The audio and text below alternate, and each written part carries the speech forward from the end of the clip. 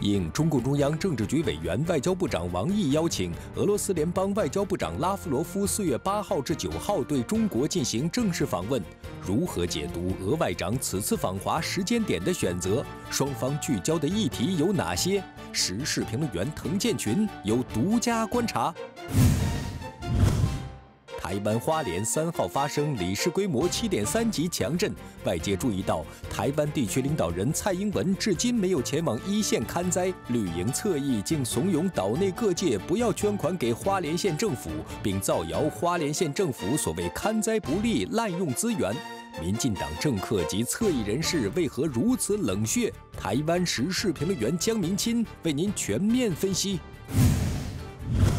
台湾地区领导人当选人赖清德六号声称，五月二十号就职后有三项重要工作，其中一项是要进行所谓社会改造，洗涤人心。赖清德的此番发言为什么会引发岛内各界的强烈不安？时事评论员张斌为您深入解析。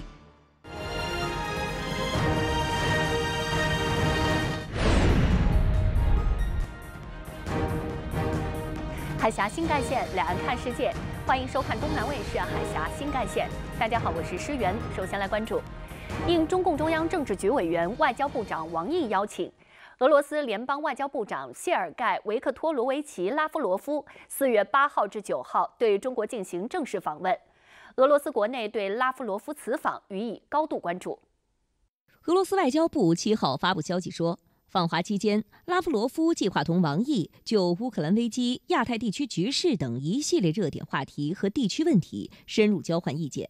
两国外长还将就双边合作中的广泛议题以及在国际舞台上的协作进行探讨，特别是在联合国、金砖国家、上海合作组织、二十国集团、亚太经合组织等多边机制和平台上的合作。俄联塔网七号报道称。拉夫罗夫最近一次访华是在2023年10月，当时正值中国举办第三届“一带一路”国际合作高峰论坛。拉夫罗夫此访或将就两国政治、经济等方面合作议题，以及在重要国际事务中的立场等进行交流和沟通，密切彼此协作。俄罗斯消息报网站七号报道称，当前俄中两国各领域互利合作不断深化，俄方高度重视发展对华关系。报道称。今年二月，拉夫罗夫在俄国家杜马发表讲话时表示，俄方将把发展同中国的全面战略协作伙伴关系作为最重要的任务。两国伙伴关系在全球事务中发挥着稳定作用。今年是俄中建交七十五周年，两国关系正处于历史最好水平。同时，俄罗斯与中国的贸易额正以创纪录的速度增长。俄罗斯导报网站称。美国、北约等持续向亚太地区扩张影响，拉拢亚太国家进行军事政治对抗，在地区制造不稳定。拉夫罗夫此访或将密切同中国的关系，强化与诸多国家以及在地区多边机制上的配合，团结更多全球南方国家，更好应对地区和全球挑战。四月八号，外交部举行例行记者会，有记者提问，据报道。美国近期就中国对俄罗斯不断加深的支持向盟友发出警告，外交部对此有何回应？发言人毛宁表示，在乌克兰问题上，中方始终秉持客观公正立场，积极劝和促谈，推动政治解决。中国不是乌克兰危机的制造者和当事方，我们没有也不会做从中渔利的事情。中方一贯依法依规对两用物项出口进行管制。有关国家不应当抹黑攻击中俄正常的国家关系，不应损害中国和中国企业的正当权益，更不应向中方甩锅推责、挑动阵营对抗。接下来呢，我们要来请教在北京演播室的时事评论员滕建群先生。滕先生您好，您如何来看待俄外长这一次访华所选择的时间点呢？从时间点上来看的话，引起了有关各方的关注。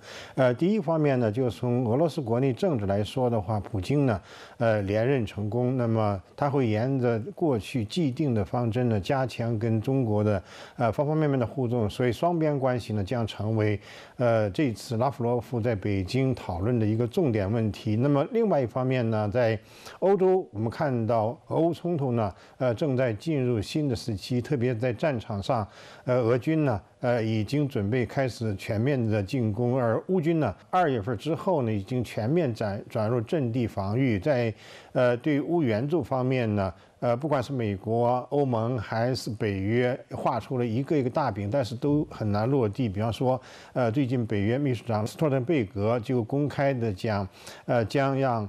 呃，北约成员国呢出钱建立一个一千亿欧元的援乌克兰的呃基金，但是呢得到的响应呢呃寥寥无几。所以从俄乌冲突来看的话，现在似乎呢出现了呃和平谈判的端倪。所以中国的呃方案呢呃也引起了包括俄罗斯、乌克兰呃以及有关国家的高度重视。所以怎么样呃劝和促谈呢？呃实现。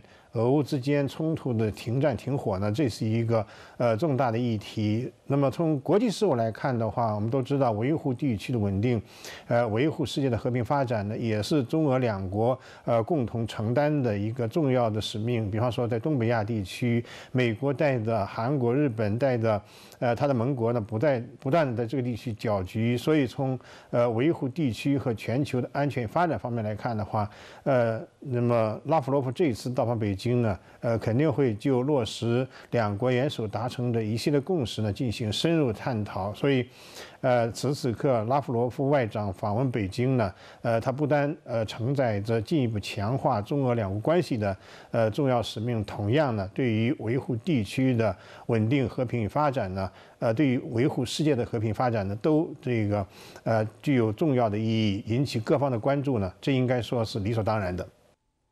谢谢滕建群先生。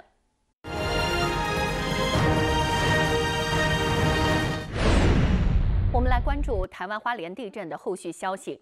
据台灾害应变中心的消息，截至四月八号十八时，台湾花莲县海域七点三级地震，共造成十三人遇难，还有六人失联。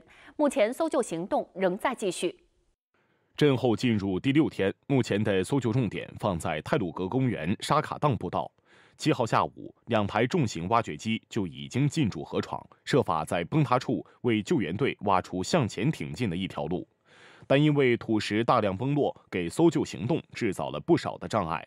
截至八号上午，只向前挺进了三百米。他要去把那个大地挖出来啊。埋太深了，有五具啊，啊，有两具比较深，而且呢，里面要做路，那个石头很大。那目前重机具已经都进场，途中就是有那个深潭的部分，那他们就是已经在那个做填土的动作这样。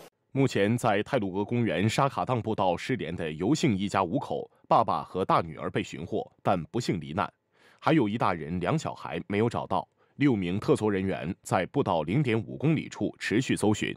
还有一对失联的新加坡夫妇，疑似受困在不到一点五公里处，由七人三犬在轻装搜寻。此外，一艘屏东籍渔船“红星号”自三号出港后就失联。陈姓船长每天都会打电话跟父母报平安，却已经近一周没下落，家属心急如焚，就怕是因为地震受到影响而遭遇不测。因为阿公阿妈他们说，爸爸是往花莲那个方向，可能会看看是影响到还是怎样。目前最新侦测到这艘船讯号出现在菲律宾海域，台海巡单位及台湾搜救中心正从海空展开联合搜寻，希望能早日找到失联渔船。台湾花莲发生规模七点三级强震，造成当地诸多灾情。对此，有蓝营民代质疑蔡英文为何迄今仍未前往花莲看灾。蔡办发言人林玉婵八号辩称，不想影响一线救灾人员专注工作，不能因为蔡英文的行程增加维安负担。不过，这一说法未能让岛内民众信服。蔡办发言人林玉婵称，目前蔡英文仍坐镇台北指挥，将另择合适的时间前往花莲处理灾后重建复原工作。对此，台湾资深媒体人王尚志直言，蔡英文一如既往不在乎基层死活。我在这些年经常指控蔡英文说基层死活跟他没关，我说他是个宅女，这件事情我们是负责任的说句话的，因为所有基层当中动荡到人心，包括人心感受的很多的悲剧，他完全都不表态。可是人家拜登家的狗死了，他就表态发表这个 FB。花莲大地震灾情惨重，牵动两岸同胞的心。但近日，岛内绿营侧翼却怂恿各界不要捐款给红十字组织和花莲县政府。王尚志在脸书痛斥绿营还在政治算计，让急需援助的花莲县民情何以堪？他更指出，高雄市前市长陈菊当年在高雄气爆事件中滥用捐款资源，就是绿营的空前代表作。绿营网军侧翼如今依然黑白颠倒，让人难以想象。中国国民党籍民代郑丽文也在岛内政论节目指出，花莲县长是国民党籍政治人物，绿营就借机煽动网军，制造负面舆论，这简直就是泯灭人性。当人类面对这种天灾的灾难的时候，大家伸出援手，还要问一下你是不是支持民进党的吗？那这不叫做丧心病狂、泯灭人性？什么才叫丧心病狂、泯灭人性呢？民进党面对灾情不断秀下限，让岛内民众深切感受到台独政客之冷血。最初让民众感到心寒与愤怒的是一条消失的短信。这次花莲强震是九二幺大地震后二十五年来台湾规模最大的地震，然而全台却有六个地方没有收到地震警示信息，其中包括台北、新北、基隆、桃园。岛内各界质疑，地震强度这么大。这些区域人口密度这么高，为什么台当局的警报短信却消失了？台湾《中国时报》评论指出，尽管天灾当前不应有过多臆测，但北北基逃都是国民党施政的现实，当地居民全部被警报屏蔽，要人没有政治联想，恐怕都难。我们来请教在台北的时事评论员江明清先生。江先生，面对此次花莲强震，民进党方面忙着政治操弄，绿营侧翼竟然还怂恿各界不要捐款给花莲县政府，并造谣花莲县政府所谓执行不力、滥用资源。那想请教您啊，民进党政客以及侧翼人士为什么会如此的冷血呢？基本上，民进党是一个以权力完全为思维的一个政党跟党派，所以他们眼中的只有权力。啊，所谓的人权、人性、人文跟人的价值，都在权力的考量之后。因此，在现在地震这么严重的情况之下，理论上应该是救人优先，天大地大，人民最大。但对于这些侧翼跟民进党许多政客来说，权力最大，其他可以考量。所以，因此可以看得出来说，他们的侧翼开始操作啊，不要捐款给花莲县政府，因为他们没有把钱用好等等。这个明显是趁火打打劫，以身作贼呀！啊，为什么这么说呢？就理论上啊，这时候应该是集中所有的物资，赶快把花莲这次最严重的地方，技术让它复原，让老百姓呢能够回归正常的生活，这才是正道嘛。舍此道而不由，却偏在操作啊，说这个花莲县政府钱用了不当等等，所以民党这些做法呢，很明显的就是完全是以政治操作为为本。另外第二个是在邻近的日本啊，他们在三一一海啸的时候呢，台湾的民间总共捐了超过六十亿新台币，又超过日币两百多亿啊。民党大肆宣扬说，你看我们都有人道的关怀，那偏偏对自己在岛内同胞呢，花莲的民众，他们的表现就是如此，这是什么样的心态啊？所以在这种情况之下，可以看得出来说，真的每一次的天灾人祸都是一面照妖镜。那大家也在想。蔡英文还有六周就要下台一鞠躬了，那他为什么不说话？在以前任何天这个台风或者地震或者是淹水的地方，他是第一个到达，啊，当时就是我到了，身先士卒，表示我很重视灾情。那你们呢，集中全力救治灾区的居民，让他们恢复到正常生活。这次他不去了，原因很简单，他现在忙着计算如何能够安全下装，安全下装为首。那花莲。的灾情跟居民的复建和他们心情的回复，又哪里会在乎呢？所以从上到下都是同样一个样子啊！不论蔡英文也好，或者侧翼，基本上的心态都是一样：巩固权力，当权力消失的时候，巩固自己。那至于台湾老百姓怎么想、怎么看，或者怎么过日子，则非所问。这样的政府、这样的管理方式、这样的治理方式，是台湾民众真的所需要、所期盼的吗？谢谢您的解读。压霸一词恐怕是民进党极其拥趸、最醒目的标签了。先有叫嚷着“我是民进党的嚣张占座的女子”，后有连地震救灾捐款都要阻挠的绿营侧翼，这些人可谓是一脉相承啊，暴露出了绿营施政八年唯我独尊、横行霸道的丑态。天灾只是一时，人祸却后患无穷。尤其是在这一个应该要众志成城共度时间的当下，台湾民众心中的震感恐怕是远超七点三级。我们再来关注，台湾地区领导人当选人赖清德六号在一场记者会时声称，五月二十号就职后有三项重要工作，其中一项是要进行所谓社会改造，洗涤人心。此言引发岛内各界强烈不安。利用过去所发生的种种伟大事件，来进行社会改造，来洗涤每一个人的人心，我大家了解啊，自由。并不是天顶刮落来，自由是爱付出代价。我听到这个真的是嘎连顺哦，这只代表一件事情嘛，就是只有他对，别人通通错。我就觉得奇怪，赖清德凭什么认为你就是正确？你凭什么去洗涤别人的心理？为什么不是你要接受洗涤？为什么不是你思想扭曲？你应该要去接受进化？为什么你要来净化别人？这不是很莫名其妙的事情吗？他现在对于台湾的现状非常不满，哪里不满？他对于说，他认为说台湾里面现在有一大堆认知错误的人呐，这些人通通该送去劳改啊！为什么？思想不对，什么自由？百分之百自由叫什么？就是顺我者昌，逆我者亡。照我的方式就是自由，照不照我的方式那就不是自由。我觉得赖清德哈是一个很诚实的政治人物，他完全说出了真心话。赖清德本来就是一个非常霸道。霸道独裁，就是非常这个就是自我导向的一个政治人物哈。前明代郭正亮表示，蔡英文也说过所谓捍卫言论自由之类的话，但赖清德的说法更加让人不安，是因为他长期给人以很独断，一副要跟人对着干的观感。所以意思是怎样？意思是未来你还要叫沈博阳那个让警总复辟，是不是？让沈沈博阳来审查每一个人认知正不正确，是这样吗？不然你找沈博阳当不分区第一名干嘛？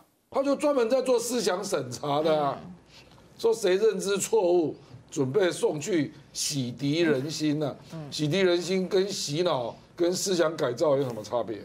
岛内舆论表示。所谓美国在台协会主席罗森伯格近日来台的目的，就是为了警告赖清德不能做得太过分。可笑的是，罗森伯格一走，赖清德就露出马脚。最紧张的可能是罗森伯格是不是要准备来第三次？不是啊，因为你怎么一下又又又来又又嗨了又嗨了啊？呃，去年你说我我最大的使命就是台湾人要走进白宫，对，而且又来了。岛内网友在相关贴文下纷纷留言炮轰赖清德：“先洗民进党党员跟一四五零网军吧，洗脑就洗脑，洗什么底？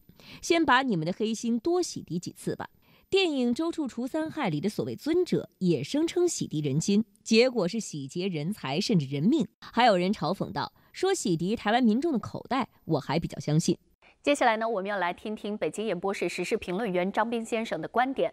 赖清德为什么会丢出这样的言论？他凭什么认为自己可以去洗涤别人的心呢？这个洗涤人心啊，其实啊，我觉得就是一个偷换概念的这样一种说法。其实洗涤人心，按照台湾相关人士一些解读啊，就是洗脑的一个变种。我们知道，民进党当局啊，呃，执政以来呢，不断的推行对抗大陆的政策。让台海地区陷入到一种危机当中。那么在经济上妄图跟大陆脱钩断链，在军事上呢不断的挑衅大陆，以武谋独。从这个对外关系层面呢，却紧紧地抱住美国的大腿，甘当美国遏制中国的马前卒。所以啊，这样的一系列举动，就让台海地区局势啊越来越险恶，让台湾陷入到不安全当中，自然引起台湾民众的强力的一个反弹。尤其在两岸关系上。要和平，要发展，要交流，要合作，这是台湾民众的主流民意，也是保证台湾安全的根本之道。但是，民进党当局一味的搞台独，一味的挑衅对抗大陆，一定会遭到强烈的反制。所以啊，只有让台湾的民众完全被民进党洗脑，用民进党的这种所谓的大陆威胁，以及呢台海形势紧张。来呢，制造岛内的绿色恐怖，这是民进党当局一贯的一个做法。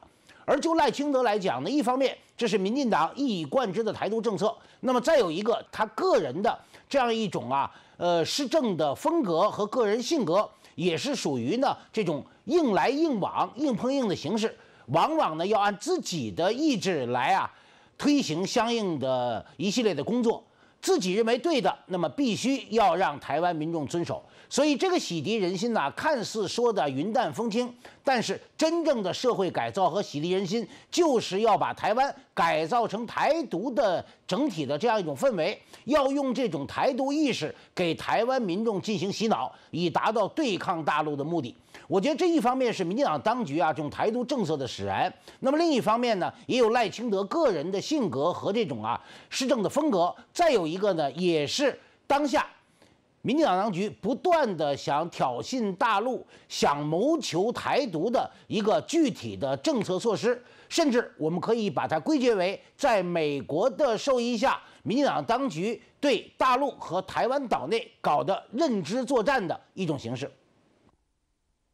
是的，没有良心的人却要洗涤他人的心。赖清德口中说出这样的话，不仅荒诞，更是可怕。谢谢张斌先生，我们休息一下，海峡新干线稍后继续。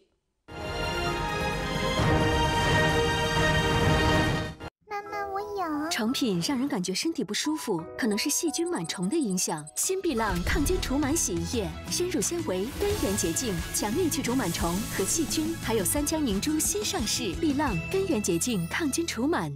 爱绿、植绿、护绿、新绿，推动绿色发展，共建美丽福建。世界越来越急，变化越来越多，我还是喜欢沉下心，回到根本，抓住关键。就像新海飞丝，从根源开始，守护头皮健康。去屑护头皮，当然海飞丝。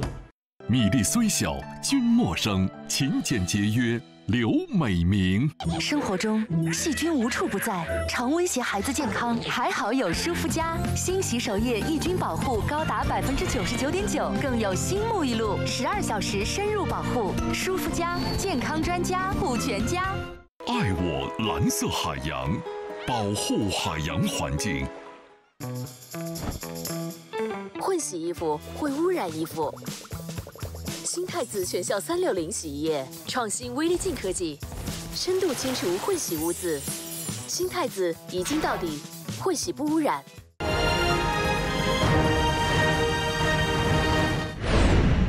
欢迎回到东南卫视海峡新干线，我们再来关注。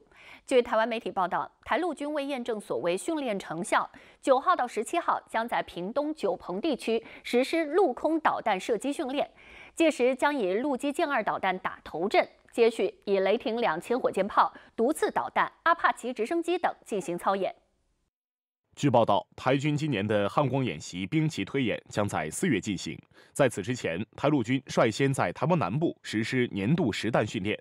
台军方人士称，台陆军九号至十七号将在屏东九鹏地区进行陆空导弹射击训练，项目包括所谓雷霆、神鹰及神弓操演。雷霆操演部分，操演部队将进行 Mk 一五、Mk 三零及 Mk 四五等各型火箭弹射击，并演练官兵接收射击指挥部所下达的射击任务后，如何迅速进入阵地完成用炮程序。由安全军官针对车上武器射控系统等逐一检查，待命射击，发挥雷霆两千火箭炮车反登陆作战能力。神功操演部分，则是验证台军野战防空能力。操演部队拟以双联装导弹发射系统、复仇者导弹车系统实弹射击毒刺导弹，官兵必须掌握仅约十秒左右的黄金时间，迅速追瞄目标，扣下发射钮，以击落靶弹。神鹰操演部分，台陆军航特部所属 AH 六四 E 阿帕奇、AH 一 W 超级眼镜蛇等各式直升机将搭载空射弹药参训，包括地狱火反装甲导弹、响尾蛇防空导弹等，都会在这项操演之中亮相。在这次演练中，台媒重点关注的对象是由台所谓中山科学研究院研发量产的野战防空系统陆基舰二导弹。九号当天将打头阵，首次参与这次演训，并规划射击三枚实弹。此外，台陆军金门防卫指挥部原定于四月二号起陆续在金门实施的对海射击演练，虽然被取消，但是台军之前公告，五月十五号、十六号还要在东引进行实弹射击，射击的方向也是面对大陆。公告如今还没有撤销。就此情况，台湾时事评论员郭正亮在岛内政论节目中表示，他觉得民进党的一通操作让人觉得匪夷所思。这个不可能是军军方自己决定的啦。是。他们再笨也要想一想五二零啊，因为全世界都在看五二零，结果你在五月十五、十六在东引那边要实弹演习，这个跟现有的讨论的氛围太反方向了吧？所以我是觉得最近这个这个政府有点给人家感觉了，给他感觉进入各玩各的的状态啊，嗯，好像没有一个一个一个主导决策的人在协调各方面啊。哦，比如说你如果是认为五二零是最重要，那你所有的决策都要朝向五二零如何能够缓和两岸对的危机，嗯这个角度去连带思考嘛。看起来不是这样子啊。没有啊，我认为就各搞各的、啊，对，就给人家这种感觉啊。嗯那蔡英文好像也不管了，就是针对民进党当局以武谋独的种种举动，国防部新闻发言人吴谦日前表示，在打毒促统方面，解放军始终以行动说话，始终是坚决而专业的。正告民进党当局，台独分裂活动越猖獗，和平解决的可能性就越消减。中国人民解放军持续练兵备战，将以坚如磐石的意志和强大能力，坚决捍卫国家主权和领土完整。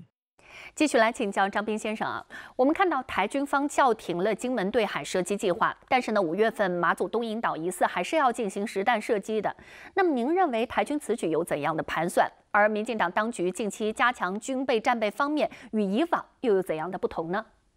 呃，我们注意到啊，台军本来要在四月初的时候呢，在金门搞这个所谓实弹射击，但是前一段时间呢，呃，自己给出理由，一个呢怕这个引发地区局势紧张，另外一个呢，由于海上有雾等等这些客观条件，所以呢，这个实弹射击呢就进行了相应的一个调整。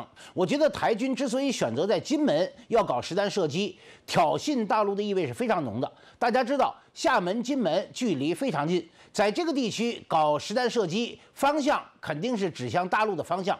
一旦造成不可预知的后果，那么台湾将面临着大陆强力的一个反制。所以啊，在这样一个大陆遏制台独反制力量空前的大背景下，台军绝不敢说是以卵击石，这是一个最主要的因素。那么再有一个呢，就是美方在这里面也起了相应的作用。我们注意到，美国所谓在台协会的主席罗森伯格多次窜访台湾，就在近期呢，再一次到台湾窜访。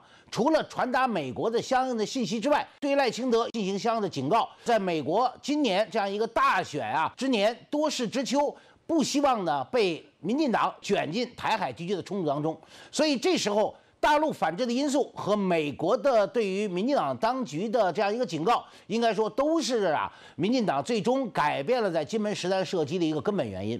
但是我们看到这一系列的演习计划，到今天五月份的东引岛的实弹的射击并没有改变。那么从目前来看的话，民进党当局之所以啊仍然要保持这样一个离大陆相对比较近的，我们知道东引距离大陆。呃，虽然离金门跟金门比啊相对远一点，但是呢，实际距离也就二十多公里。所以这样的一个情况下，那么民进党当局继续保留所谓实弹射击，其实对抗大陆武力挑衅的意味还是非常浓厚的。再加上这段时间，呃，民进党当局不断的向美国进行军事采购，以及呢在岛内进行各方面的军事动员和部署，可以想见，总体来看。民进党在金门取消实弹射击，只是对抗大陆的权宜之计；而在整体的这样一个对抗大陆、挑衅大陆的大的方向背景下，民进党并没有实质性的改变。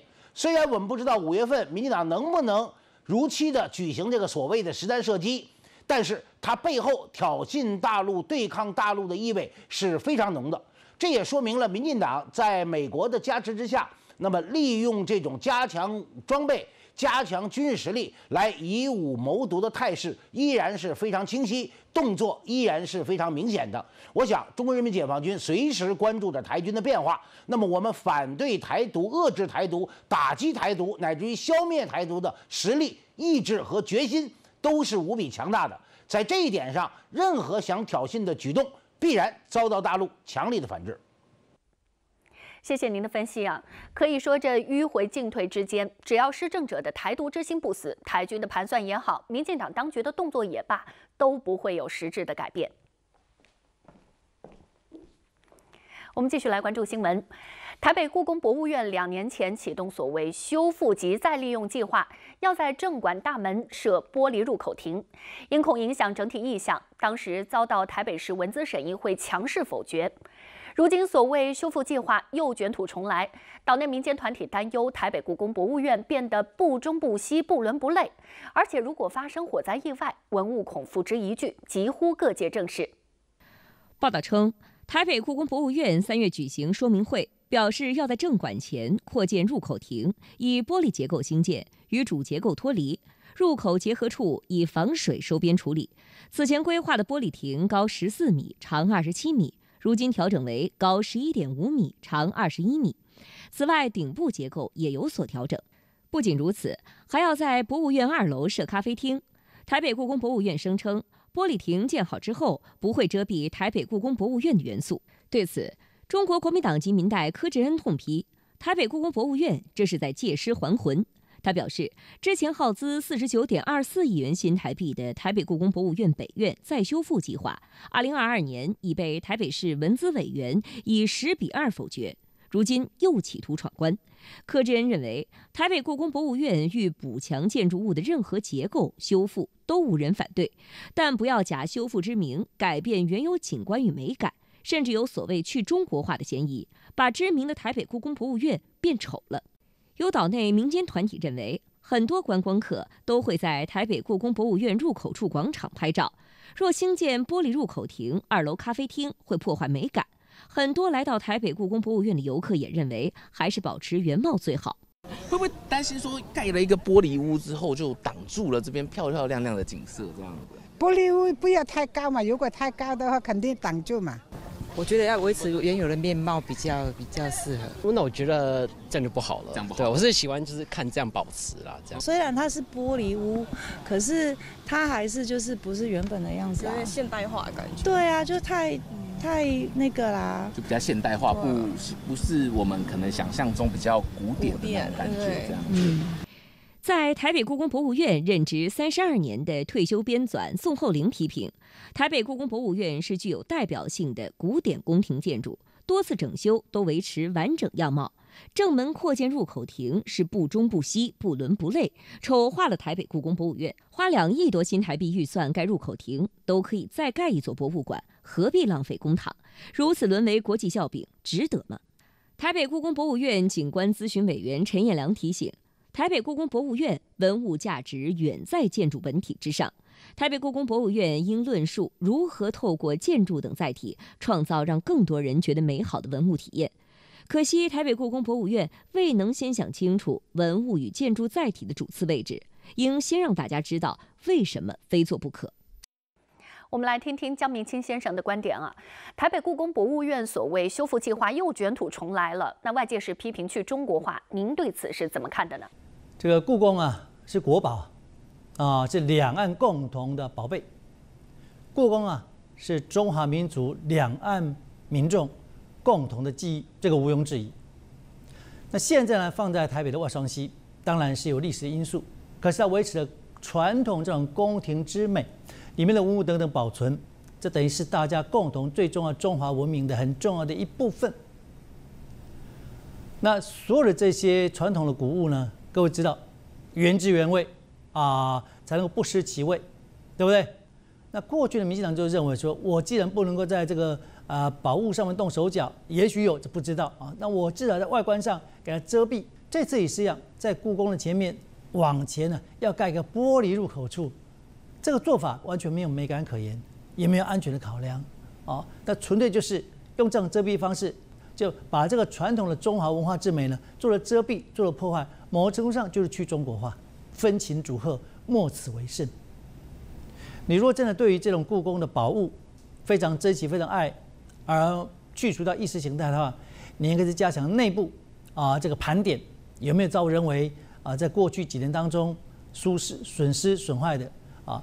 去年、前年都有这种损坏，甚至还在现场呢。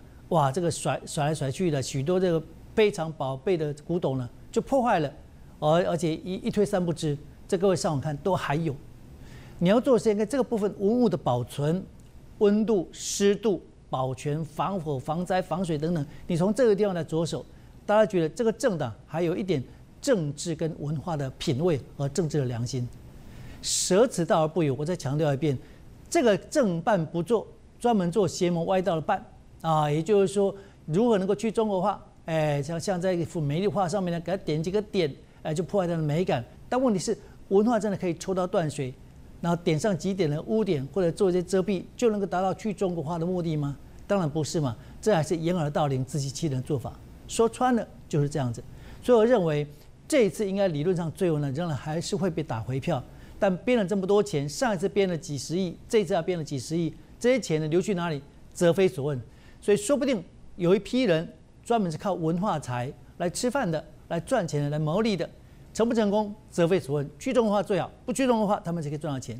那这样呢，就非常的可恶啊！谢谢江明清先生，我们休息一下，海峡新干线稍后继续。腿脚发软，腰杆无力，关节不适，这人老了呀，为什么颈肩腰腿老出问题啊？原因之一。您的骨骼变疏松了，试试优韧极，国家发明专利，专为中老年研发。优韧极牌三七氨糖骨碎补胶囊，有三七、葛根、骨碎补，还有氨糖、硫酸软骨素、鱼胶原蛋白、钙，吃一样含七样，不是简单补钙补氨糖。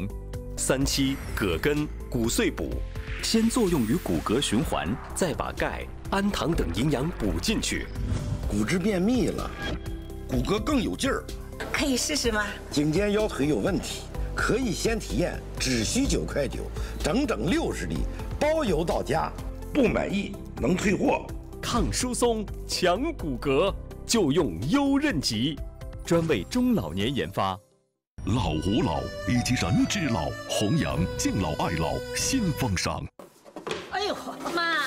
腿脚没劲儿，是不是骨骼变疏松了？骨骼变疏松，试试优韧极，国家发明专利，专为中老年研发。优韧极牌三七氨糖骨碎补胶囊，有三七、葛根、骨碎补，还有氨糖、硫酸软骨素、鱼胶原蛋白、钙，吃一样含七样，不是简单补钙补氨糖。我们的骨骼通过密密麻麻的血管来获得营养，老年人。容易循环不畅，三七、葛根、骨碎补先作用于骨骼循环，再把钙、氨糖等营养补进去，骨质便秘了，骨骼更有劲儿。优韧极推出九块九体验活动，颈肩腰腿有问题可以先体验，只需九块九，整整六十粒，包邮到家，不满意能退货。抗疏松、强骨骼，就用优韧极，专为中老年研发。尊老为德，敬老为善。妈，你腿脚不好，多补点儿。和您的儿女一样，我们希望您腿脚有力，腰杆挺拔，颈肩灵活。所以优韧极一直坚持九块九体验活动。优韧极牌三七氨糖骨碎补胶囊，有三七、葛根、骨碎补，还有氨糖、硫酸软骨素。鱼胶原蛋白、钙，吃一样含七样，国家发明专利，专为中老年研发。您记住了，优韧极九块九，嗯，可以先体验。九块九能吃几天呀？整整六十粒，可以吃十天，包邮到家。不满意能退吗？不满意能退货。你们做儿女的。一定要帮父母把好关，骨骼常保养，一定要坚持。抗疏松、强骨骼，就用优韧极，专为中老年研发。玉芝林药业。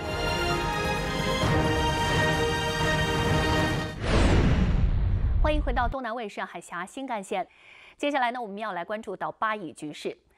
据以色列媒体报道，以军已经从加沙地带南部撤出所有地面部队，目前在加沙地带只留下一个旅。对此，以色列国防部长加兰特七号表示，以军从加沙地带南部撤军，旨在为在拉法的军事行动做准备。同一天，美国白宫国家安全委员会战略沟通协调员约翰科比则表示，以军从加沙南部撤出似乎是为了休息和调整，并不一定意味着有任何新的行动。以色列新消息报援引以军方消息报道说，过去几个月，主要部署在汉尤尼斯地区的以军第九十八师从加沙地带南部撤出，标志着以军在加沙地带的兵力进一步减少。另据以色列时报报道，目前以军在加沙地带只剩下纳哈尔旅负责保护内查里姆走廊的安全。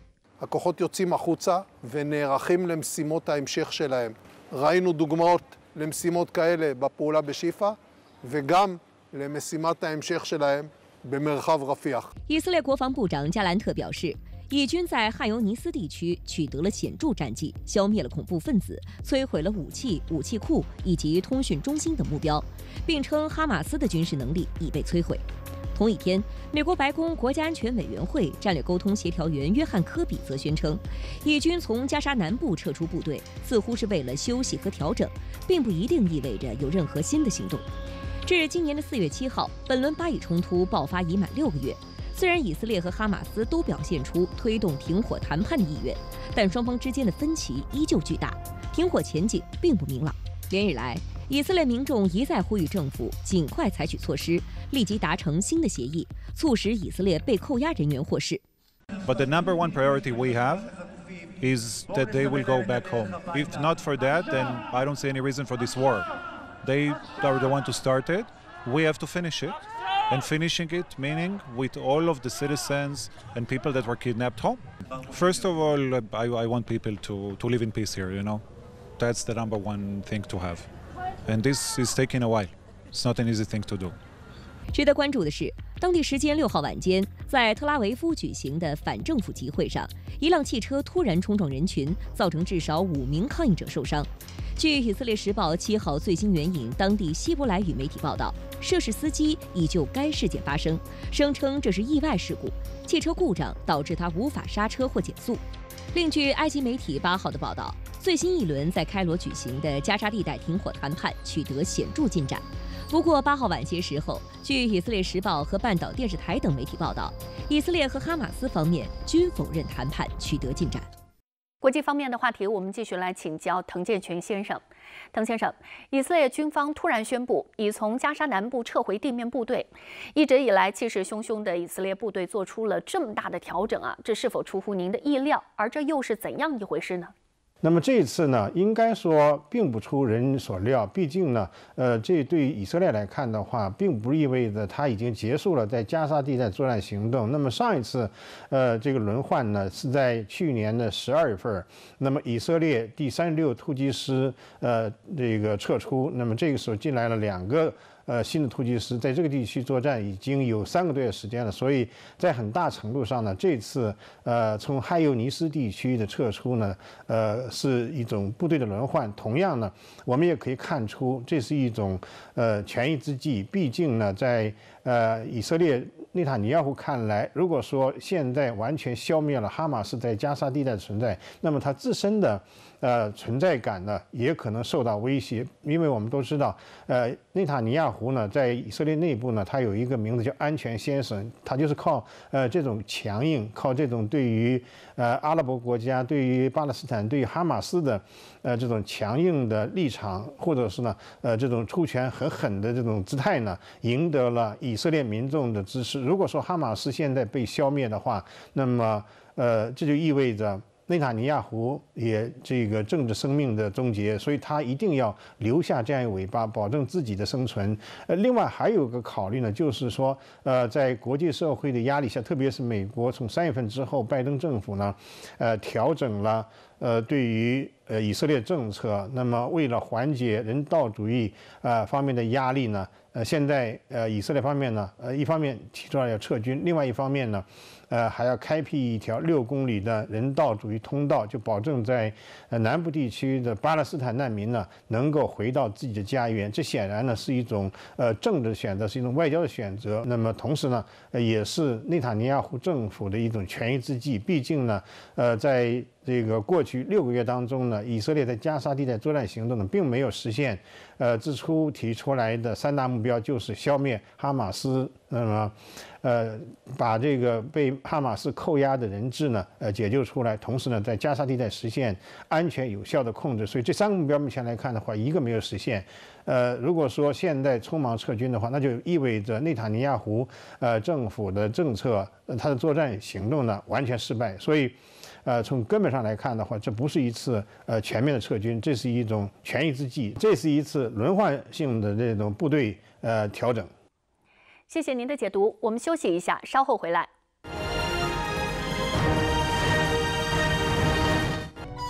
千山竞秀。万壑争流，草木葱茏，鸟兽灵动，共建万物和谐的美丽家园。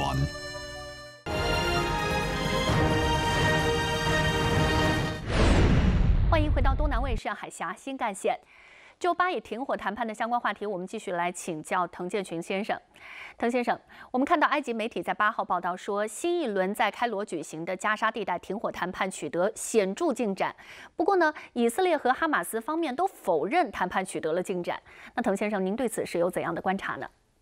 从谈判来看的话，在哈马斯和以色列冲突爆发之后呢，一直在进行的包，包括在埃及、包括在卡塔尔进行谈判呢。其实，在整个一个呃，之前的谈判过程当中呢，以色列方面呢显得呃这个三心二意，甚至呢呃保持一定的沉默。即使是派出了代表团参加相关的谈判，但是呢呃他们的表态呢也比较消极。那么从哈马斯来看的话，呃同样也对于以色列。呃，提出来这个要完全停火、要全部撤军的，呃，这样一些要求。目前来看的话，双方呃这个要价呢都非常高。那么以色列方面呢是希望能够呃迅速的解决被扣押呃在这个哈马斯手里边的这个人质问题，同时呢实现呃对于。加沙地带的有效控制，从谈判结果来看的话，我相信不太可能，呃，一下子就实现哈马斯和以色列提出来的各自的目标，比方说释放人质，比方说，呃，全面撤军和停火。但是为什么出现，呃，这种谈判呢？我觉得内塔尼亚胡方面呢，呃，他是有一种缓兵之计的考虑，同时呢，呃，目前呢，呃，正这个是这个斋月期间，所以呃，这个，呃，以军呢也没有太大的。呃，这个动作，我觉得在斋月结束以后呢，呃，以色列方面呢肯定会呃发起地面的进攻，特别是在呃拉法地区呢，因为这个地区呢现在呃成了以色列主攻的一个主要的呃方向。这个地区呢，同时又有上百万的巴勒斯坦难民。如果说呃真的发起这种地面进攻的话，那肯定会造成巨大的人道主义伤亡。现在开辟人道主义通道呢，应该跟。呃，内塔尼亚胡面对的美国面对的国际社会压力，呃的一种选择。谢谢您的解读。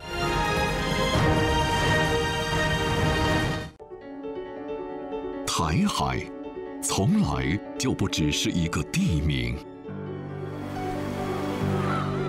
这里山川毓秀，人文鼎盛，有历史的纵深厚重。有文化的传承交融，有情感的牵挂羁绊，有思想的包容碰撞，有在地深耕的接续报道。欢迎收看东南卫视海峡新干线。有亲临现场的清醒发声。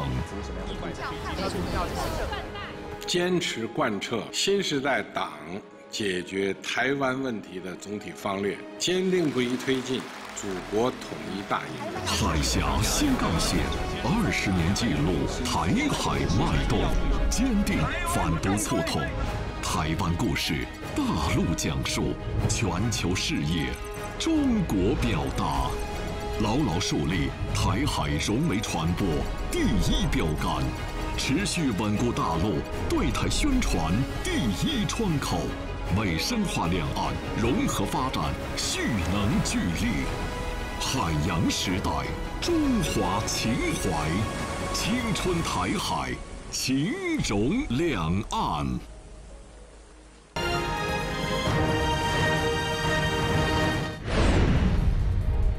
了解更多更丰富的两岸资讯，您可以扫描屏幕左下方的二维码。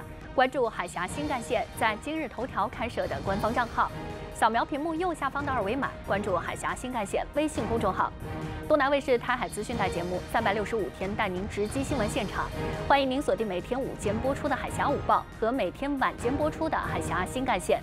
获取更多音视频资讯，请扫描屏幕下方的二维码，下载福建省广播影视集团官方客户端海博 TV。今天的海峡新干线就是这样，感谢收看，再会。